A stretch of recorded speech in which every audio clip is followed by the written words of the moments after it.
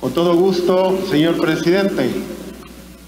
Señores secretarios, Junta Directiva, Honorable Asamblea Legislativa presente.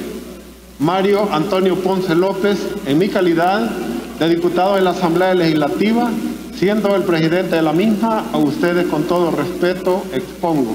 Romano 1.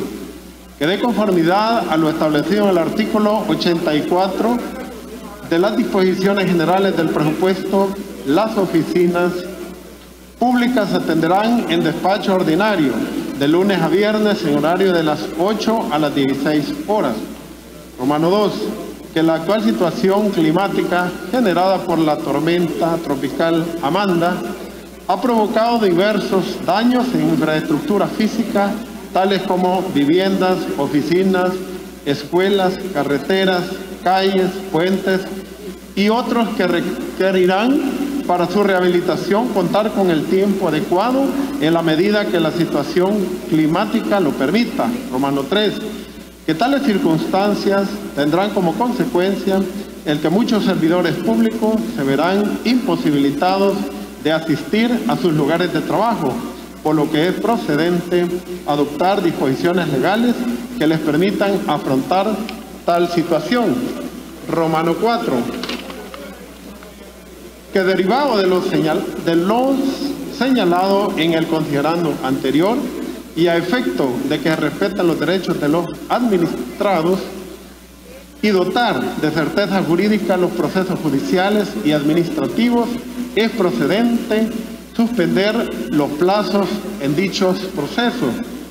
Romano 5, que en atención a la situación planteada y en vista que los plazos y términos siguen corriendo, en los procedimientos administrativos y procesos judiciales, no obstante que actos o diligencias podrían no realizarse y llegar al vencimiento de los plazos, como es el caso de la detención provisional, cuyo límite, según el artículo 8 del Código Procesal Penal, es de 24 meses, o la preclusión de derechos por no haberse ejercido en los plazos determinados en otras materias, debiendo emitir la disposición que permita se superen los inconvenientes señalados y no afectar derechos o garantías fundamentales suspendiendo los referidos plazos. Con base en lo anterior y con base en la facultad que me otorga el artículo 133, numeral 1 de la Constitución, con todo respeto, pido se admita el decreto legislativo por las razones antes relacionadas. San Salvador, 31 de mayo de 2020 y tiene la firma del diputado presidente Mario Ponce. De lectura al proyecto de decreto, por favor. Augusto. La Asamblea Legislativa de la República de El Salvador, considerando, Romano 1, que de conformidad a lo establecido en el artículo 84 de las disposiciones generales del presupuesto las oficinas públicas atenderán en despacho ordinario de lunes a viernes en horario de las 8 a las 16 horas. Romano 2. Que la actual situación climática generada por la tormenta tropical Amanda ha provocado diversos daños en infraestructura física, tales como viviendas, oficinas, escuelas, carreteras, calles, puentes y otros que requerirán para su rehabilitación contar con el tiempo adecuado en la medida que la situación climática lo permita. Romano 3, que tales circunstancias tendrán como consecuencia el que muchos servidores públicos se verán imposibilitados de asistir a sus lugares de trabajo, por lo que es procedente adoptar disposiciones legales que les permitan afrontar tal situación. Romano 4 que derivado de lo señalado en el considerado anterior y a efecto de que se respeten los derechos de los administrados y dotar de certeza jurídica los procesos judiciales y administrativos, es procedente suspender los plazos en dichos procesos. Romano 5, que en atención a la situación planteada y en vista que los plazos y términos siguen corriendo, en los procedimientos administrativos y procesos judiciales, no obstante que actos o diligencias podrían no realizarse y llegar al vencimiento de plazos, como es el caso de la detención provisional, cuyo límite, según el artículo 8 del Código Procesal, es de 24 meses, o la preclusión de derechos por no haberse ejercido en los plazos determinados en otras materias, debiéndose emitir las disposiciones que permitan se superen los inconvenientes señalados y no afectar derechos o garantías fundamentales, suspendiendo los referidos plazos. Por tanto, en uso de, sus facultades constitucionales y a iniciativa de los diputados, decreta Artículo 1. No obstante lo dispuesto en el artículo 84 de las disposiciones generales del presupuesto, suspéndense por un plazo de 10 días la obligación prevista en dicha disposición legal. Dicha disposición legal.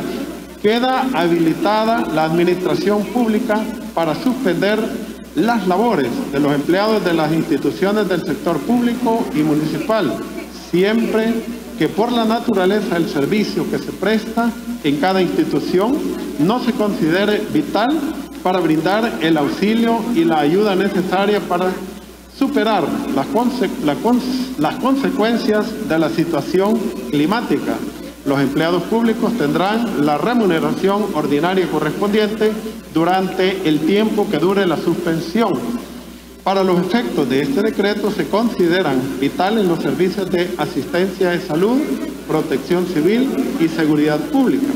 Los jefes de unidades primarias y secundarias de organización deberán presentarse a sus labores y podrán llamar a los empleados de sus dependencias a fin de que presten servicios que se consideren estrictamente necesarios mencionados en el inciso anterior los cuales serán con el mínimo de personal necesario de manera alterna y de ser posible por turnos, guardando las medidas de protección y seguridad ocupacional.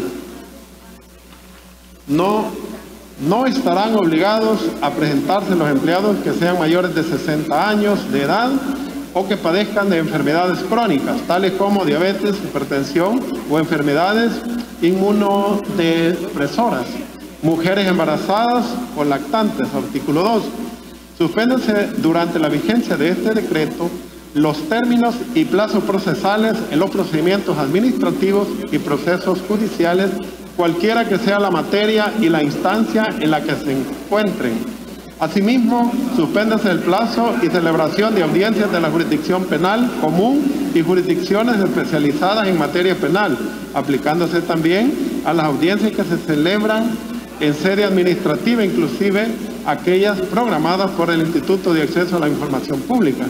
Quedan excluidos de esta disposición los plazos previstos por la Constitución de la República para la detención administrativa, el término de inquirir y consecuentemente las audiencias derivadas de este último, así como lo relativo a las medidas de protección en materia de violencia intrafamiliar y las facultades previstas en los artículos 35 y 45 de la ley penitenciaria así como los procesos a que se refiere la Ley de Procedimientos Constitucionales. Artículo 3. El presente eh, entrará en vigencia desde esta fecha, previa publicación en el diario oficial y sus efectos cesarán el día 10 de junio del corriente año, dado en el Salón Azul del Palacio Legislativo San Salvador a los 10 del mes de, del año 2020 leída la pieza y proyecto de decreto, señor presidente.